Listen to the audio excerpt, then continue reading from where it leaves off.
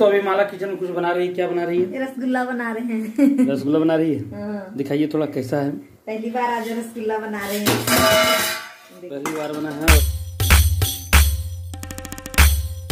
नमस्कार दोस्तों बोला राज ब्लॉग्स में आपका स्वागत है। आशा है कि आप सभी लोग अच्छे होंगे स्वस्थ होंगे और मस्त होंगे। अभी सुबह के साढ़े पाँच बजे साढ़े पाँच भी नहीं बजा होगा। देख सकते हैं पाँच बजकर अट्ठाईस मिनट हुआ है और धूप अच्छी खासी उग चुकी है। आज लगता है मौसम साफ़ रहने वाला है। इधर पेड़ों के पीछे सूर्यदेव भगवान अच्छी तरह से उग चुके हैं। और इधर माला सुबह सुबह लग चुकी है खेतों में काम करने के लिए। इनमें झाड़ी लगाइएगा ना? ये जो लता है, करेली का एक, दो, तीन, चार, और इधर है। और ऐसे ही इसमें थोड़ा थोड़ा झाड़ी लगाना पड़ता है, ताकि वो झाड़ी अच्छा से ये सबको कवर कर सके और ये ऊंचाई पर फल सके। ये बरसात में फलेगा। दोस्तों, अभी मैं और माला जंगल के घूमने जा रहे हैं और कुछ दृश्य लेंगे, क्योंकि घर के बगल में ही जंगल है।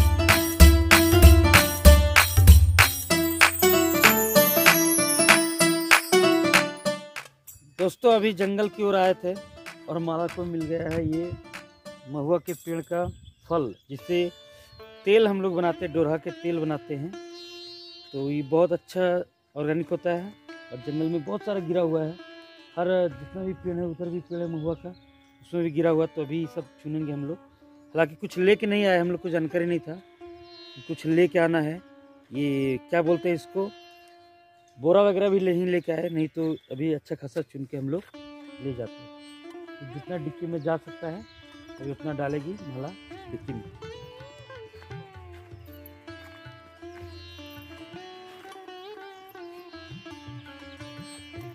दोस्तों, चारों ओर घने जंगल। देख सकते हैं एकदम बिल्कुल। जंगल में एक म्यूज़िक चलते रहता है। आप पक्षियों के चहचहाट को सुनिए।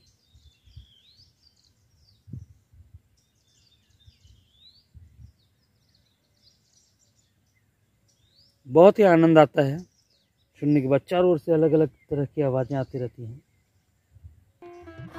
अभी दोस्तों, हम लोग जंगल से लौट चुके हैं। मज़ा आया घूम के, क्या? नवक झूरी महुआ की लाए, थोड़ा सा झाड़ी भी लाए थे हम लोग, लताओं में देने के लिए।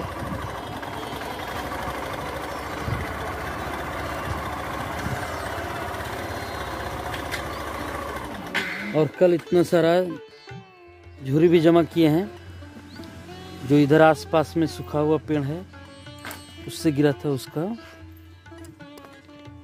कार्टून लाए हैं, क्योंकि इसको, इसमें अभी आम रख रहे हैं, और ये आम जो कल आंधी तूफ़ान से गिर गए थे तो इसको रख देते हैं पकने के लिए। दोस्तों, अभी इसमें इसको गर्म करने के लिए क्योंकि गर्म होगा तो पकेगा इसमें हम लोग। ये कुट्टी डालेंगे, पूरी तरह डाल देंगे और ढक देंगे और पैक कर देंगे इसे। दोस्तों, इसको अभी पैक करके रखेंगे अगले तीन दिनों के लिए। तीन से चार दिनों के बाद ये पूरी तरह पक जाएगा और इसको रख देते हैं ऐसे। भी अचार बना रही है माला अभी लाई नमक और ये सब लेके आई दूसरे घर पर घर से और अभी बना रही है अचार। ये सब अचार बनने वाला है। आम का अचार बन के होगा तैयार। नहीं बदलेगा लोगों का विचार। Three hours later. दोस्तों अभी माला किचन कुछ बना रही है क्या बना रही है? रसगुल्ला बना रहे हैं। रसगुल्ला बना रही है? हाँ, दिखाइए थोड़ा कैसा है। पहली बार आज रसगुल्ला बना रहे हैं। पहली बार बना है और ये पूरा बन के बड़ा बड़ा तैयार हो रहा है। रसगुल्ला कितना देर के बाद खिलाइएगा माला? छह घंटा के बाद खिलाएँगे। छः घंटा? चलिए रसगुल्ला ठंडा होगा उसके बाद हम लोग खाएँगे। चलते हैं कुछ काम करने के लिए। क्या करना है अभी? दोस्तों अभी हम लोग घास काटने के लिए जा रहे हैं। और अभी मौसम ठंडा था इसीलिए ये जो है खजूर नहीं पका है। नहीं तो ये खजूर पूरा पक जाता। नहीं हम्म। झर गया। हवा से झर गया ललका ललका।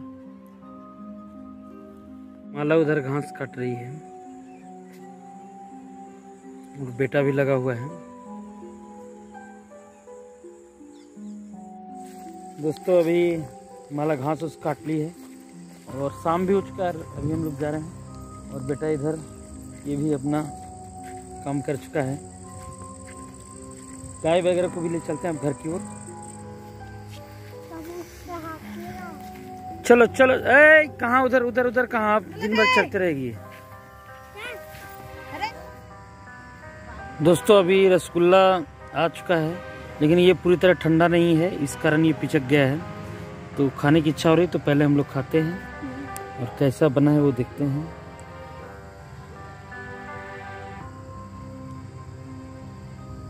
स्पॉन्जी है। आपको तीन गो हो गला तो हमार दू एक भेला हूँ। हम लोग तीन गो दोस्तों रसगुल्ला के लिए लड़ाई हो रहा है इधर। दो गो। और घर पर रसगुल्ला बना लेकिन पूरा तरह सक्सेस नहीं हुआ कुछ कमी रह गया होगा। अभी हम लोग को बनाना नहीं आता है। हम्म, बाग में। दोस्तों, आज के ब्लॉग को यहीं समाप्त करते हैं। यह ब्लॉग कैसा लगा आप कमेंट करके ज़रूर बताएँगे। और जो चैनल पर नए हैं, चैनल को कर लेंगे सब्सक्राइब। वंदे मातरम, भारत माता की जय। बाय।